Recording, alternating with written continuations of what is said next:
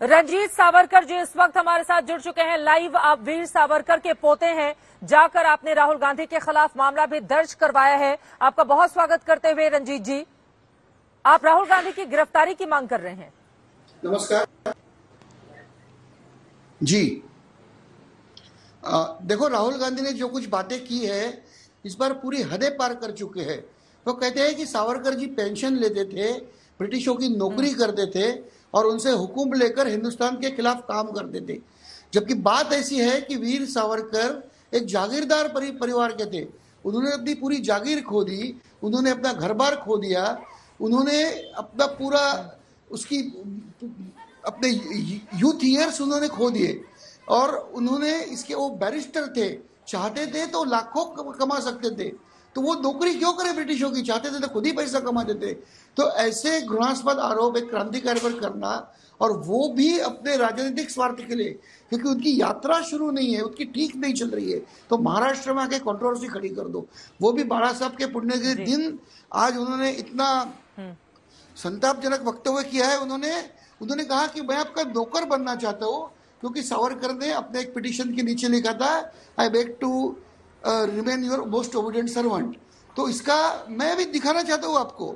यहाँ पे उन्होंने हाँ, एक महात्मा गांधी का लेटर भी दिखाई है। वो उस समय की उन्होंने पद्धति थी कि हाँ। नहीं नहीं तो ये चिट्ठी जी वो चिट्ठी में एड में दिखाया मोस्ट ओबिडेंट सर्वेंट तो ये लिखने का तरीका था महात्मा गांधी भी ऐसे ही लिखते थे। वही उसी समय की। You are most obedient Mahatma Gandhi लिखते I honour to remain you are most obedient servant तो मैं कहूँ कि आपका आपका गुलाम बनने में मैं धन्यता मानता हूँ। इसका अर्थ ऐसा नहीं होता। ये लेटर लिखने का एक तरीका होता है और ये महात्मा गांधी के भी लेटर से। तो ये तो ऐसी बात हो गई कि कोई तो घीच तान के मैं कुछ आरोप करूँ। और इसी को रोकना ज़रूरी था इसीलिए मैंने उनकी कंप्लेंट की आज। आप ये कह रहे हैं कि वीर सावरकर ने जिस तरह की चिट्ठी लिखी थी अंग्रेज़ों को बिल्कुल वैसी ही चिट्ठी महात्मा गांधी ने भी लिखी थी। वो तो डेट के साथ बता रहे हैं, महात्मा गांधी की जिस चिट्ठी का आप ज़िक्र कर रहे हैं, किस संदर्भ में वो चिट्ठी अंग्रेज़ों को लिखी गई थी? और क्या वास्तव में उसमें इन बातों का ज़िक्र साफ़ साफ़ लिखा हुआ है, जो आप इस वक्त बता रहे हैं? जी, महात्मा गांधी ने एक चिट्ठी भारत के अंग्रेज़ों को लिखी थी 1920 में। जिस जिस सावरकर की चिट्ठी दिखा था ना 20 की। वो यंग इंडिया में छापी थी, ओपन लेटर था सत्तावीस दस दो हज़ार बीस। उसमें वो स्टार्टिंग में ही लिखते हैं it is by opinion that no Indian has cooperated with the British government more than I have for an unbroken period of 29 years of public life जिस दिन सावरकर सड़ रहे थे जेल में, उस दिन गांधी कहते कि इस इस दिन से पहले 29 साल मैंने ब्रिटिशों की इतनी सेवा की जितने भारतीयों ने नहीं की है। ये गांधी जी की चिट्ठी है। पहले अपनी चिट्ठियाँ देखे और सावरकर जी चिट्ठियाँ सबके लिए थी। सावरकर की चिट्ठियाँ ये मेरे पास एविडेंस है। ये ब्रिटिशर्स कहते हैं सावरकर के एप्लीकेशन के बारे में। The petition of V D Savarkar for the general amnesty for all the political prisoners तो ये कैसे कहाँ से एक सेंटेंस निकाल के कर रहे हैं? पहले गांधी की चिट्ठियाँ देखिए। नेहरू ने नाबा में क्या लिखा वो देखिए। एक आखिरी सवाल का जवाब रंजीत जी मैं आपसे चाहूँगी।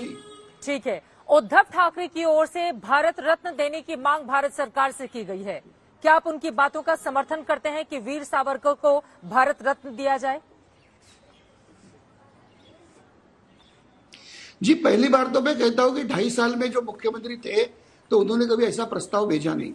दूसरी बात, सावरकर के सम्मान की जो चिंता नहीं करता, आज भी वो राहुल गांधी के साथ खड़े हैं आज बाला साहब की पुण्यतिथि है। बाला साहब सावरकर जी को भगवान मान देते उनके पुण्य के दिन कांग्रेस ने फिर अपमान किया है।